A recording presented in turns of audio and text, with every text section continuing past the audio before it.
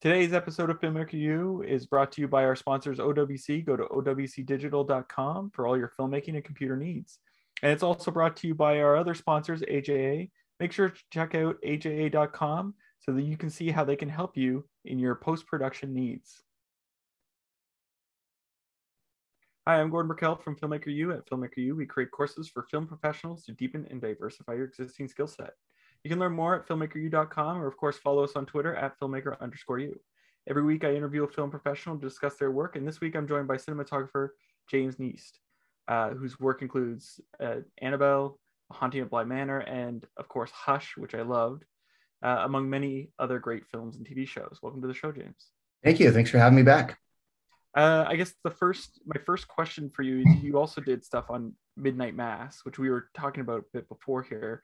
Um, what was your involvement with that? How did how did you get going on that show? Um, well, I had been kind of, you know, over the years working a bit with them in the Mike Flanagan, Trevor Macy, Intrepid camp. Um, and right on the tails of uh, The Haunting of Bly Manor, came back the, the following um, year to do Midnight Mass. And Michael Fimognari, who is a longtime collaborator with Mike, uh, he was shooting it as a DP, but he had some other conflicts with schedule.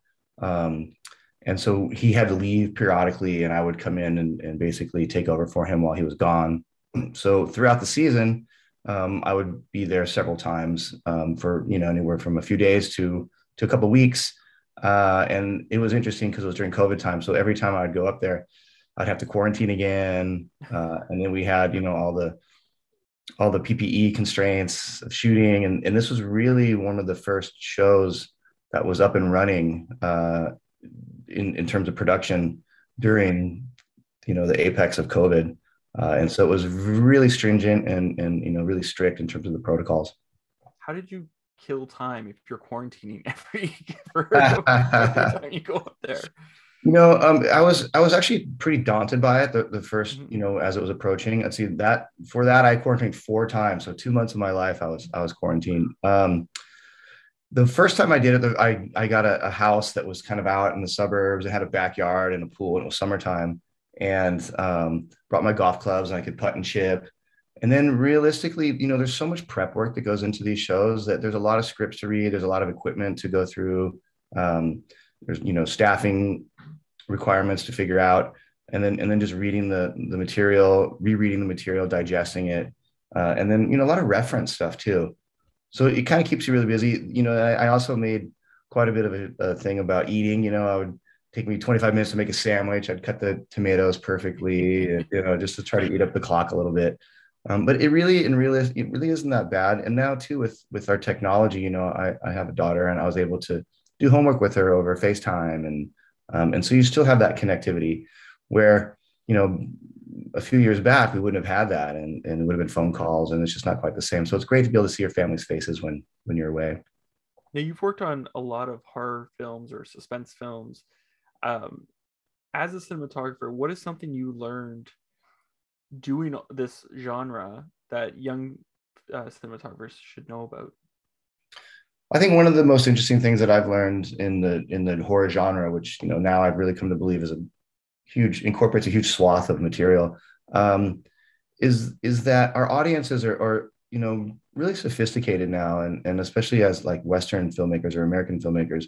I think in the past we've had a tendency to really show everything or tell the story, you know, from all the different angles. Where I think some of the other you know cultures maybe were, were a little bit more subtle and they left holes in it for the audience to, to fill in and and I think so. One of the most important things as a cinematographer is, is feeling confident, not showing or not necessarily lighting or lensing everything or framing everything in the story and letting those um, elements be a little bit of a mystery and letting um, maybe the audience just be, you know, just hinting at them. And I think that lends itself to a little, I'm so sorry, it lends itself to, um, to more of the mystery and the suspense.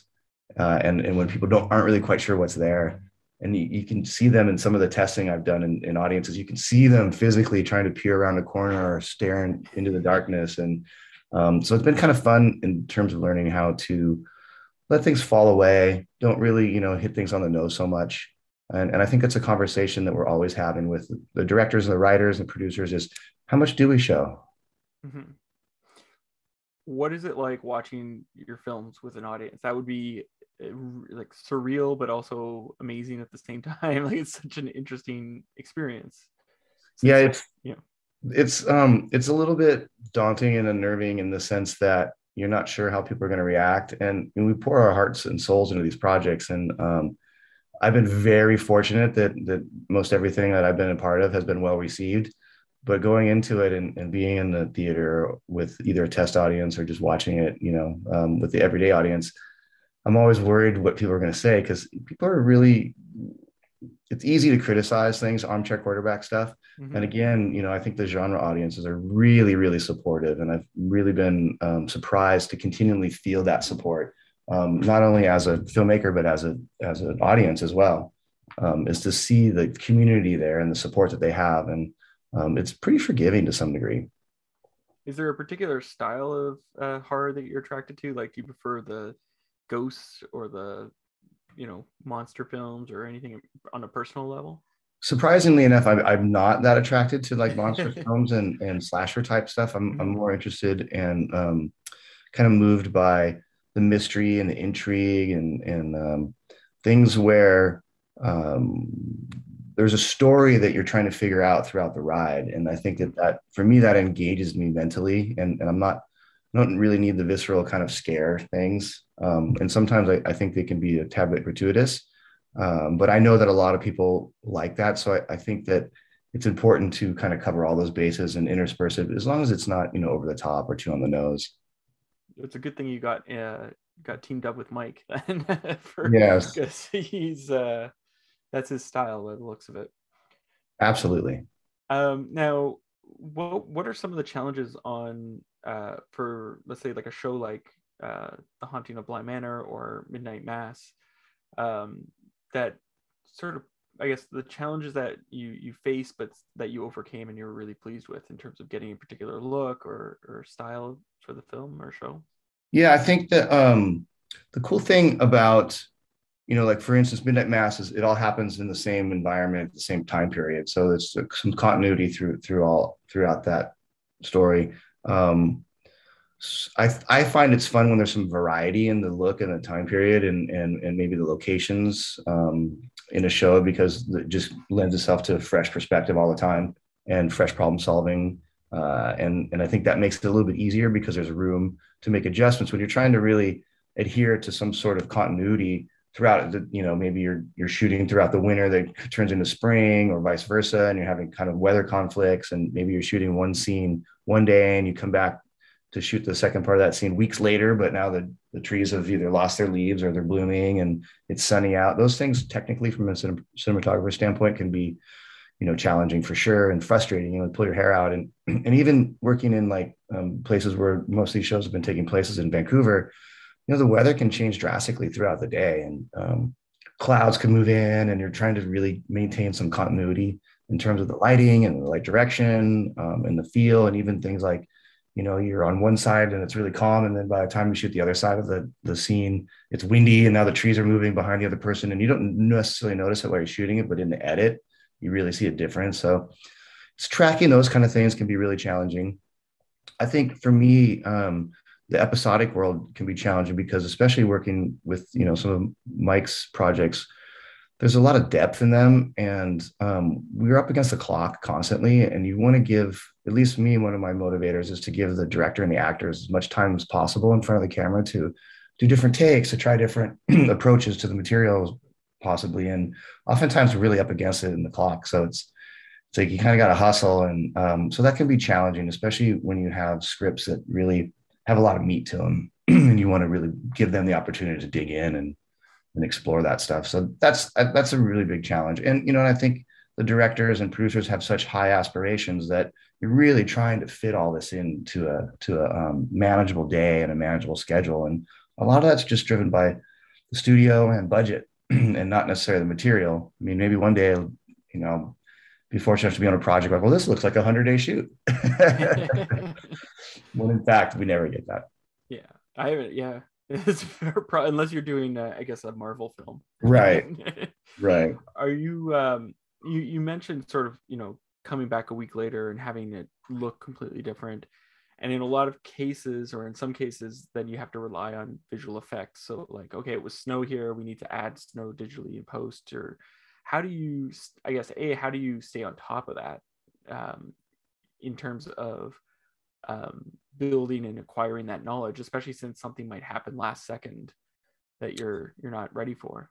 Things happen last second all the time. I think secretly that's sort of the fun of it you know and mm-hmm. realistically that's what we do is we problem solve all day long. And, and there's a there's a you know a, a, gratification to that when you're faced with you know what you initially would think would be an insurmountable challenge but then collectively as a team we figure it out um, on set normally we're afforded um, a special effects supervisor or at least somebody there who can you know help offer up what the potential solutions are you know in terms of special effects it's largely driven by money and budget as well. Sometimes you just can't get out of it. Like, um, hmm.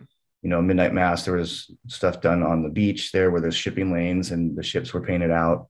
Um, I had some of those issues again on another series I just finished up there with Mike um, called the Midnight Club, where, you know, they're supposed to be out in a sort of remote area, but we have city lights in the background and, you know, sometimes cars passing and boats passing.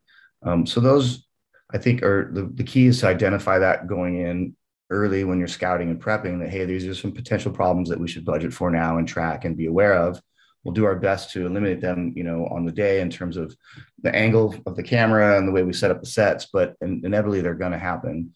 So they need to get budgeted for so it's not a surprise on the day. Um, and then you know again as a team we have we have script supervisors which help a lot with continuity. Um, nowadays playback is really easy so we can you know earmark stuff and when we turn around to look at the other side of the coverage we can pull that that shot up again and just make sure that things are feeling good. I do that a lot and and even if it's just a still just to kind of you know assuage your fears or just make sure that okay yeah this this all cuts well um, even in you know sizes and things like that traditionally we use measurements with distances and lenses but um, you know, people can have different shaped bodies and heads, and so sometimes one shot might feel a little bit bigger than the other shot. So it's nice to have those references to to sort of um, quickly quickly look at to just make sure that you're on the right page. Um, I think it's so amazing what they can do now digitally. It's incredible.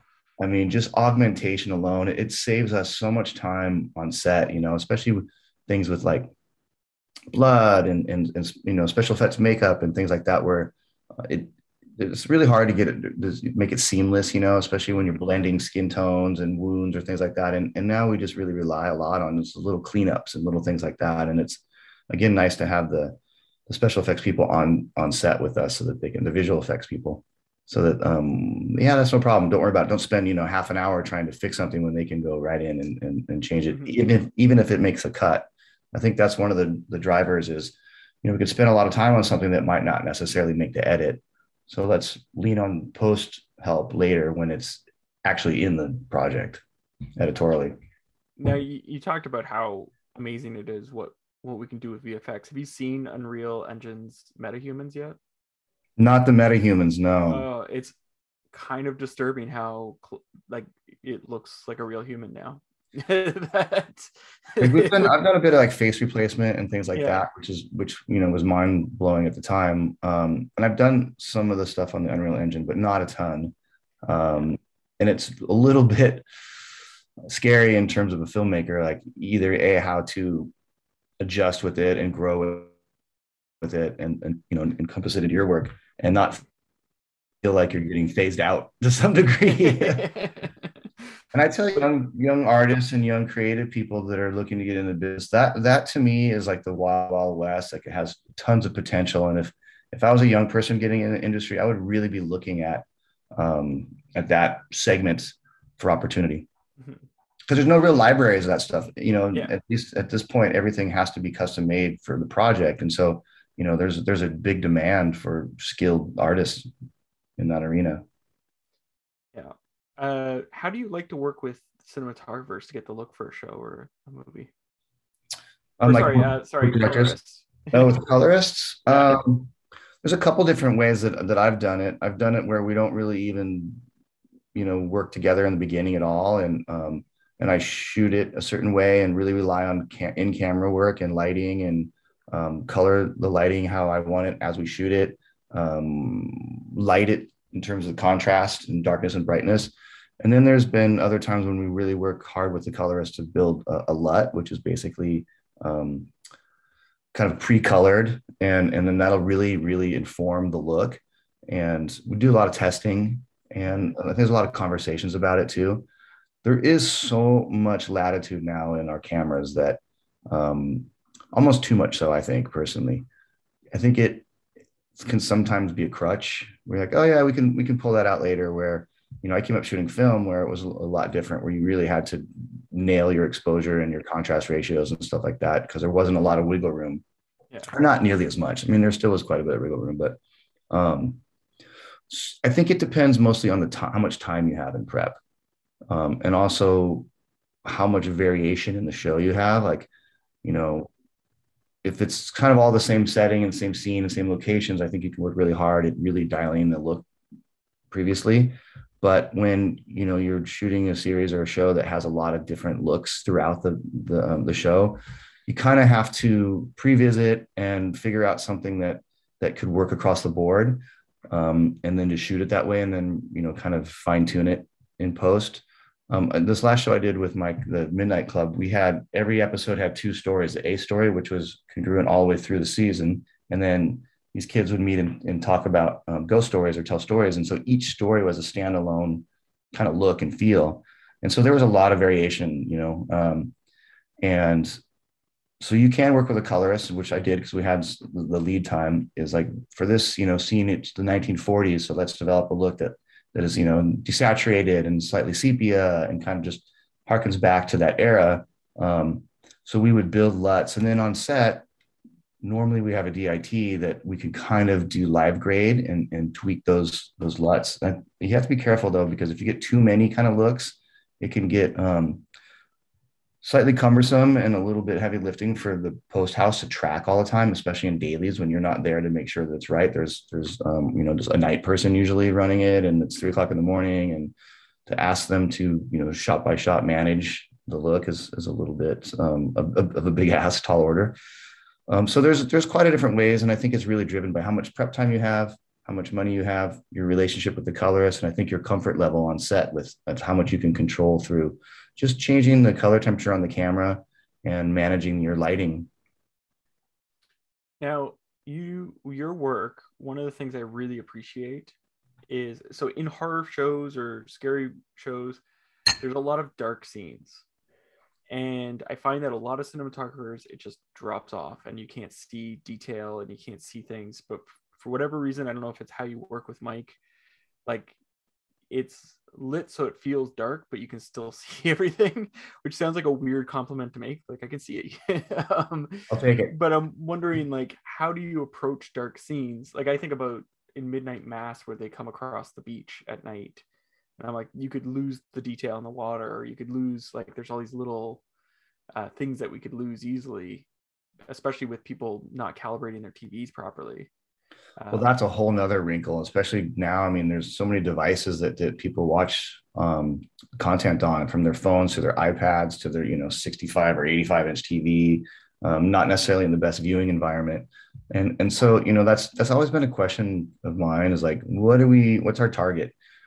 I kind of have landed on the fact that we're going to light, shoot, and expose for the best viewing environment so that things don't look too bright. You know, I, would almost rather err on the other side where things are a little bit dark and mysterious, and the person that's watching on the their iPhone on the bus might not be able to see it. But when somebody's watching it in a you know home theater or even at the theaters, that's when it really wants to to feel cinematic. Yeah. Uh, like like your work in Bly Manor where we had the black and white stuff. There was mm-hmm. like a texture to it and like you could make out nice details in the blacks. It was just worked really well.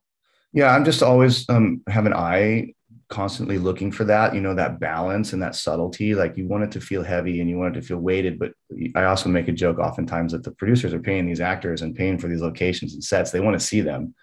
So it's for me, I'm always evaluating that that soft roll off into darkness. Um, and then, you know, I think it's important too to to build light, dark, light, dark, light, dark, so that there's a sense of depth in in the scenes.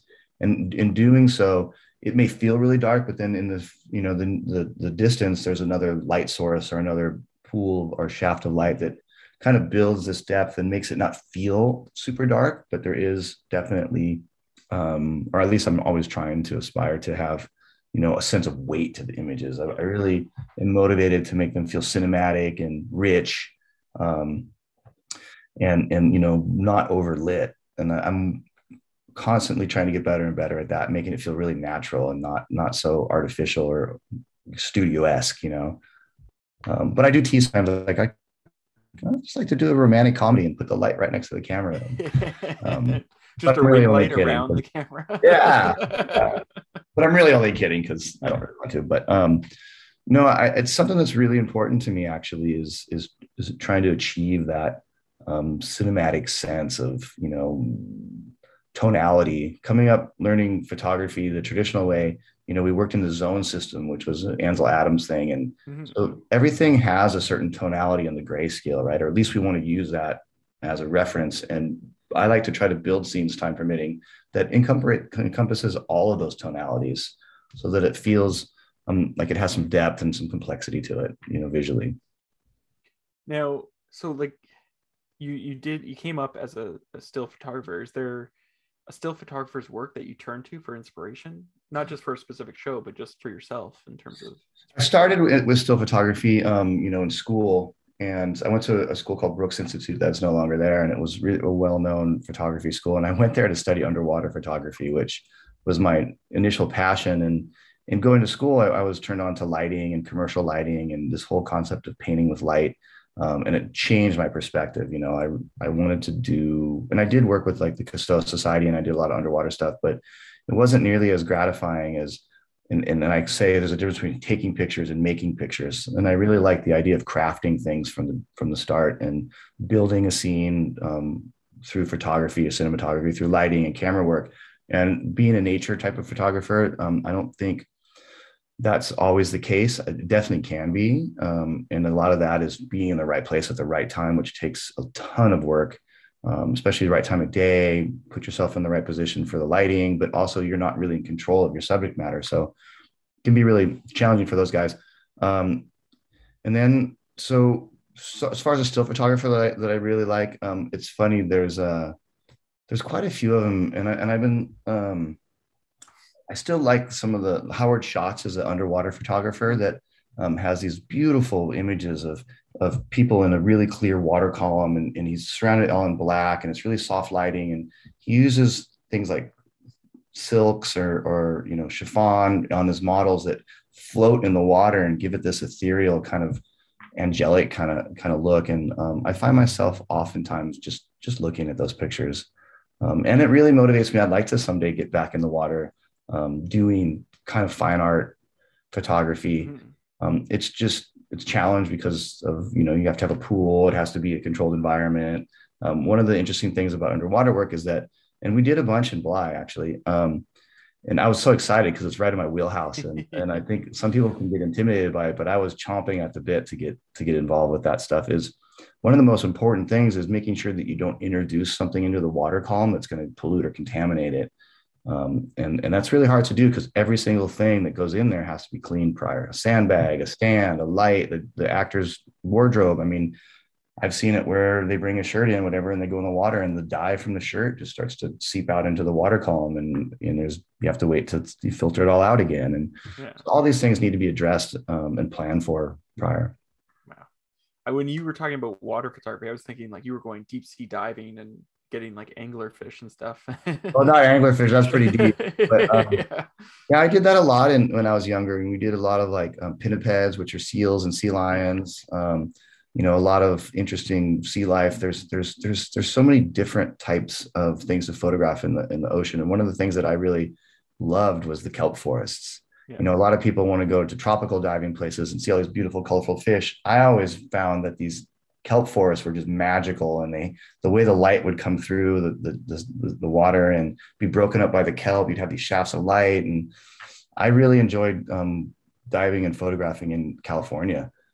I mean it's stunning what we have between you know san francisco and baja is amazing. Yeah. Now i have one last question for you. You know we've been stuck inside or a lot of people have been stuck inside because of covid um, and they've turned to streaming services for entertainment. Is there a show or a movie you've discovered over the last year that they should check out? You know, I'm kind of um, I kind of am a creature of habit, and I watch sort of the same shows. One of the ones that I just watched that came out um, was the new season of Dexter. I was a huge Dexter fan. It kind of falls right into the kind of things I like with the mystery and the intrigue and the sense of jeopardy of him getting caught. And so I just finished that season. Um, one show that I had never watched that while I, while I was sequestered in Canada a lot for these shows um, that I binged was uh, Peaky Blinders. Oh yeah, yeah. I had never really seen it, and I had the um, the opportunity to work with Annabelle Wallis in in the movie Annabelle, and, and I um, and she was a star in in uh, Peaky Blinders, and I hadn't really watched that show and didn't know much about it, and so I, I discovered it um, in quarantine and I mean, I don't know how many seasons there are, but I watched them all and I really, really liked it. Again, I'm I gravitate towards period pieces. I love, you know, every single thing that you see in the frame has been brought in or thought about it or designed. Um, I think it's it's amazing how production designers, directors, and, and, and director of photographies really create these periods, you know, that that um, that work and, and help sell the story. So I really liked Peaky Blinders a lot. And if you haven't seen it, I would recommend seeing it. And there's tons, you know, there's several seasons, so there's a lot of um, there's a lot of material to dig through for sure. Yeah, that's a great series. Well, thank you so much for letting me interview you today. Thank you for having me back. Yeah, and uh, again, um, make sure to check us out at filmmakeru.com for all our latest courses, and of course, follow us on Twitter at filmmaker underscore you. I'm Gordon Burkell. Thanks for watching.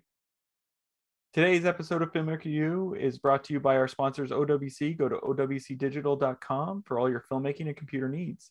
And it's also brought to you by our other sponsors, AJA. Make sure to check out aja.com so that you can see how they can help you in your post production needs.